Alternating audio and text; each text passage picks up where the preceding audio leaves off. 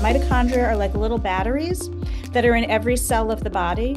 And they have many roles, but their major role that you might think about is producing energy.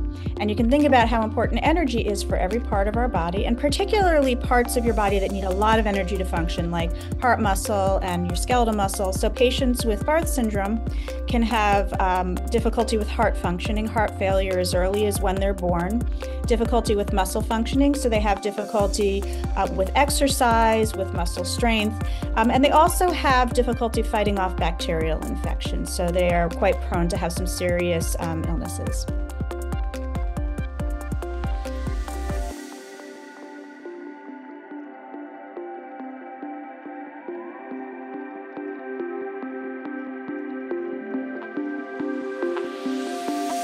In order to conduct a pivotal clinical trial like this and i have to emphasize when you do this study it is you it's a one shot deal because the disease is so rare.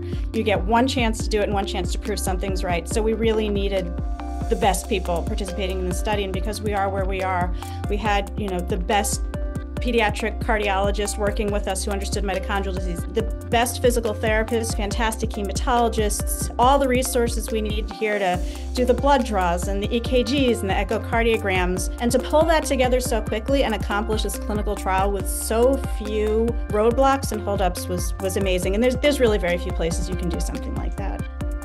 You know, we've shown we can do this once and we can have, have success once, and we're going to do it again um, and again.